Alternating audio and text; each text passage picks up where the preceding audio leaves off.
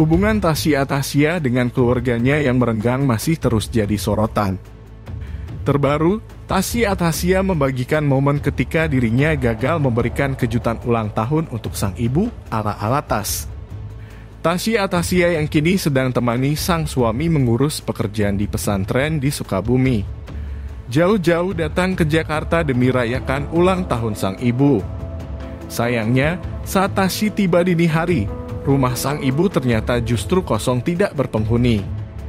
Tashi akhirnya kembali ke pesantren dengan perasaan kecewa. Niat baik Tashi memberi kejutan ultah untuk ibunya mendapat beragam tanggapan. Banyak netizen yang memuji dan mendukung Tashi. Selain itu, tak sedikit pula yang kini juga jadi penasaran dengan aktivitas yang dijalani Tashi selama di pesantren. Saat berada di pesantren, Tasyiat Hasya tampil sedikit berbeda dari biasanya. Sasalnya, di pesantren Tasi menggunakan cadar untuk melengkapi penampilannya yang islami.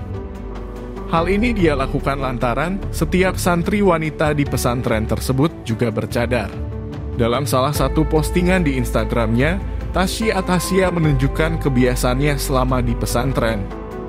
Tak saja tentang kegiatan-kegiatan yang biasa dilakukan, Tasi juga memperlihatkan beberapa tempat di pesantrennya yang berukuran cukup luas. Tak hanya Tasi yang tampak bahagia selama di pesantren, kedua anak-anak Tasi juga tampak sangat menikmati hari-harinya selama di pesantren. Ketika sedang senggang, Tasi Atasya menghabiskan waktu dengan bersantai bersama anak-anaknya. Saat bosan bersantai di pesantren, Tasi Atasya mengajak anak dan suaminya jalan-jalan. Seperti di suatu sore, Tasi, sang suami, dan anaknya tampak berjalan-jalan menikmati pemandangan sawah di sore hari. Suasana sore itu terasa begitu menenangkan.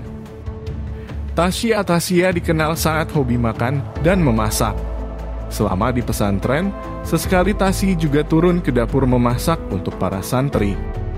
Dalam penggalan videonya, Tashi mengaku senang lantaran bisa memasak dalam jumlah besar. Selama di pesantren, Tasya Tasya lebih rajin dan kusyuk dalam beribadah. Setiap hari sholat secara berjamaah.